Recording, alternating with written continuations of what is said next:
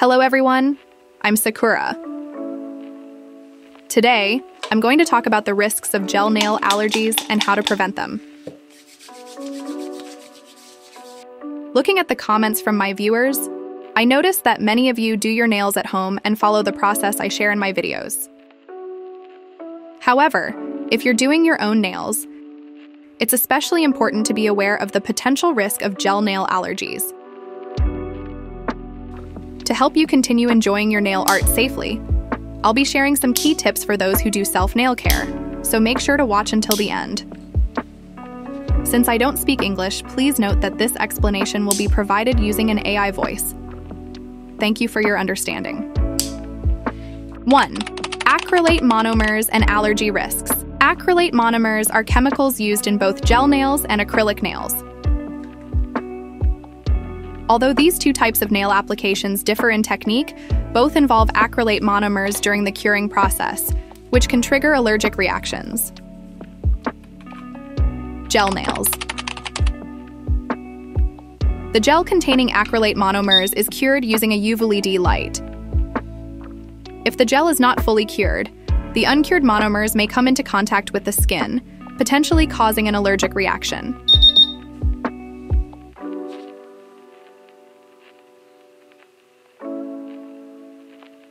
Acrylic nails. Acrylic nails are created by mixing a powder and liquid containing acrylate monomers. When the liquid and powder combine, they react and harden.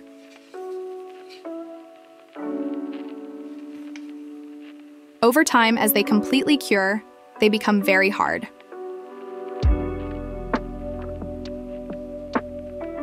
Acrylic nails are commonly used for extending length and creating long nails due to their strength. This mixture is used to form artificial nails. Similar to gel nails, the acrylate monomers in acrylic nails can also cause allergies. In short, because acrylate monomers are used in both gel and acrylic nails, there's a risk of developing an allergy regardless of the method.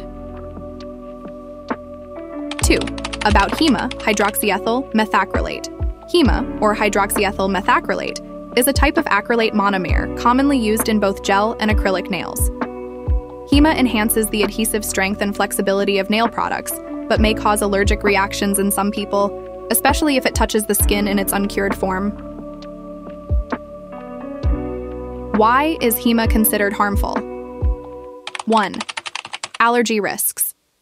HEMA is known for its potential to trigger allergic reactions, such as itching, redness, or blisters when it comes into contact with the skin. 2.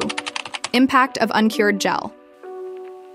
If the gel or acrylic nails are not fully cured, the uncured HEMA can remain on the skin and increase the risk of an allergic reaction. 3. Safety concerns. These days, there are more HEMA-free gel products available, and many people, especially those with sensitive skin or a history of allergic reactions, are opting for these alternatives. If you're worried about allergies, using HEMA-free nail products can reduce the risk. You can search for HEMA-free gel polish to find HEMA-free products. Please make sure to check the ingredients before purchasing. Gel nail allergies can develop suddenly, even if you are fine now. Therefore, there is a risk of allergies for everyone. If you are someone who is starting to collect gel products and are concerned about allergies, be sure to choose HEMA-free gels. 3. Tips for dealing with uncured gel for self-nail care. For those who enjoy doing their nails at home, one thing to be particularly careful about is uncured gel. Uncured gel refers to gel that hasn't been fully cured, and if it touches your skin, it may trigger an allergic reaction. Here are some tips to help you avoid allergies during self nail care. Use UV LED lights correctly. Ensure that you're using the UV LED light for the correct amount of time, according to the product instructions. If your light is old or has low wattage, it might not fully cure the gel, so make sure to check and replace your light when necessary.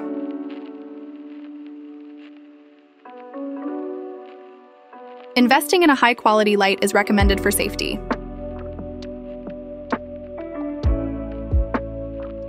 2. 2. Use the right amount of gel. Avoid applying too much gel, as thick layers may not fully cure. Apply thin, even coats of gel to ensure proper curing. 3. Avoid getting gel on your skin. When applying gel, make sure it doesn't touch the skin around your nails.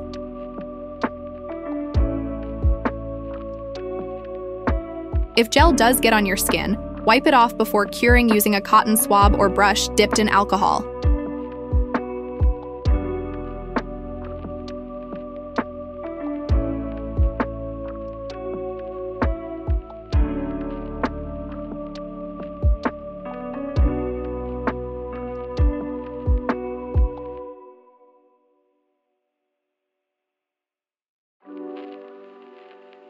Keep your tools and workspace clean, as sticky gel residue could be a sign of uncured gel.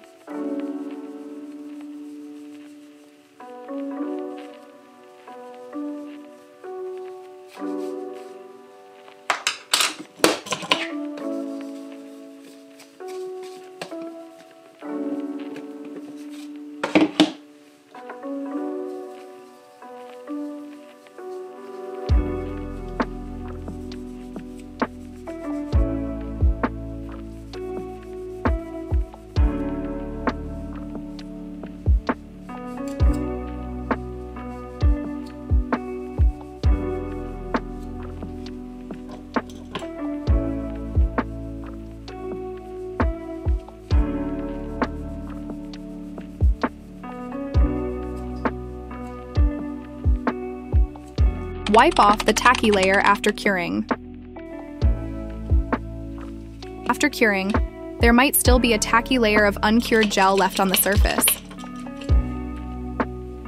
Use a cleanser or alcohol to wipe this off to prevent potential skin contact that could lead to an allergic reaction.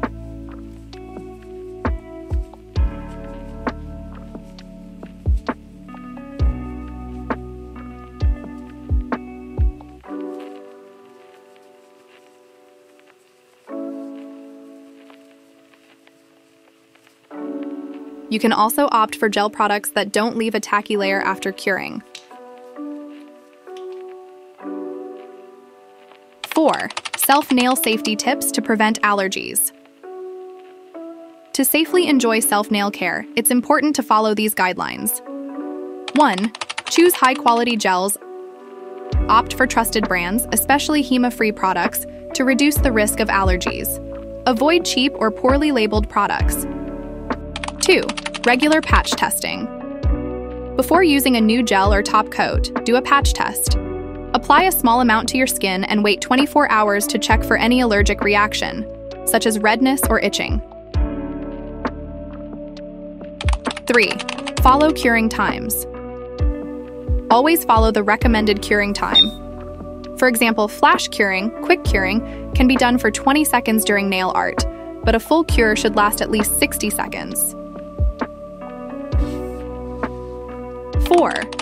Use UV gloves and protectors. To protect your skin from UV light damage, consider wearing UV protective gloves or finger protectors.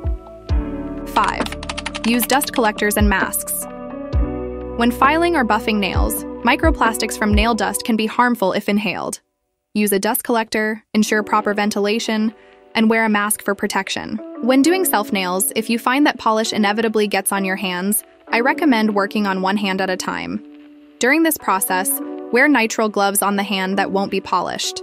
While it may seem inconvenient to do one hand at a time, this method helps prevent gel from getting on your hands and fingers, reducing the risk of allergies.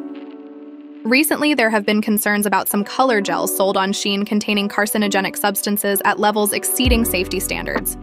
It's important to prioritize safety and, in the long run, invest in products that are safe to use, even if they are more expensive. How was today's video? I know many of you love doing self-nail care, but by following these tips, you can reduce the risk of allergies and enjoy your nails safely. While gel nails look beautiful, it's important to pay attention to the ingredients and curing process to protect your health. If you found this video helpful, please give it a thumbs up and don't forget to subscribe. If you have any questions, feel free to leave them in the comments below. Thank you for watching, and I'll see you in the next video.